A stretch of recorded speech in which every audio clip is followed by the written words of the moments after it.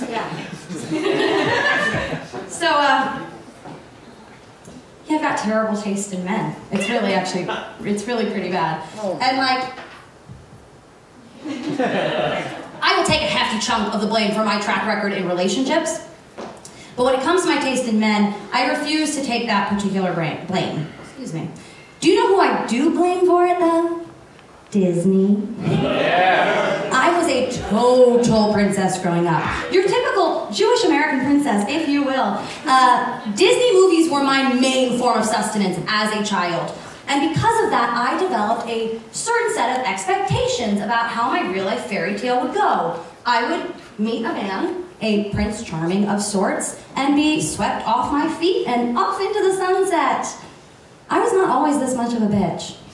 No, once upon a time, I really bought into this damsel in distress narrative that we are inundated with during our upbringing. I really, truly believed that my falling in love would be like the movies I was raised on.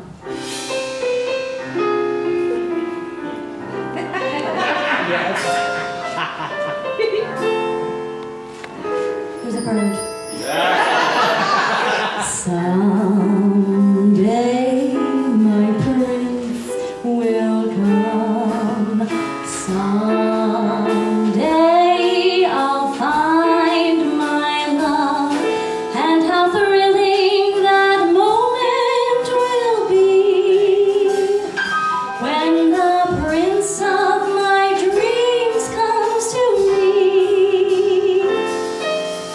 He'll whisper, I love you, and steal a kiss or two.